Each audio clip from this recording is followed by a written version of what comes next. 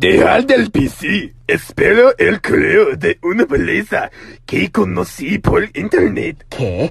¿Conociste a tu mamá en línea ayer? Oh.